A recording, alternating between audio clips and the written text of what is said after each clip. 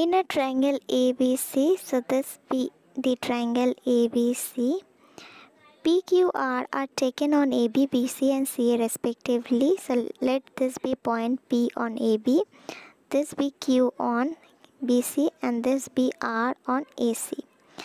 Now it is said BQ, this is the BQ line is equal to PQ. That means these two lines are equal. And here it is said QC, this one is equal to QR. So these two are equal and it is given that this angle that is BAC is 75 degree. You are asked to find out the value of this angle that is PQR.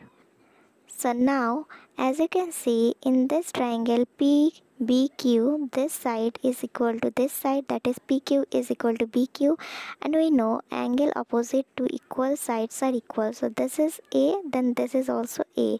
Similarly in this triangle QRC this side that is QR is equal to QC so if this is B angle this will be also B because angle opposite to equal sides are equal now, if we consider this triangle ABC, we know sum of all angles of a triangle is 180 degrees. So, we can write this 75 degree plus A plus B. If we add, we will get what? We will get 180 degree. From here, we can find out the value of A plus B. That will be 180 degree minus 75 degree. So, we are getting A plus B is 105 degree. Now, we are asked to find this angle. So look very carefully. If we consider PBQ triangle and RQC triangle we know sum of all angles of a triangle is 180 degree. So if we add all the angles of these two triangles two triangles we are adding so we will get 360 degree. So in triangle PBQ if we add let us assume this be X and this be Y. This will be easier to understand. So in PBQ if we add we will get 2A plus X and in QRC 2B plus Y. We are adding all the angles. So this will be equal to 360 degree because we are adding all the angles of two triangles. From here this equation from 2a and 2b if we take 2 common we're left with a plus b plus x plus y is equal to 360 degree.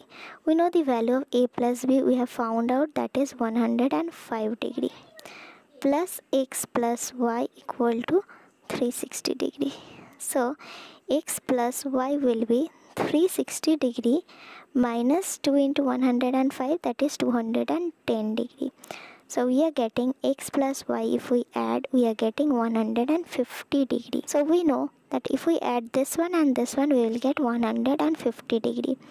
But this is a straight line and if we add all the angles on a straight line we will get 180 degree. So if we add all this we will get 180 degree. So from 180 if we subtract this one and this one we will get this angle. So this one and this one total is 150 degree. That means if we subtract 150 degree from 180 degree.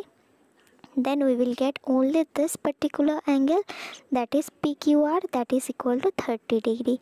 And in the question you are asked to find this one. So your final answer will be 30 degree